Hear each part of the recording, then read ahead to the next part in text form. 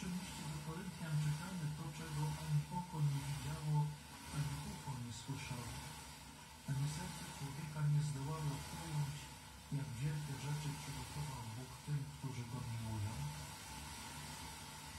Z powodu swojej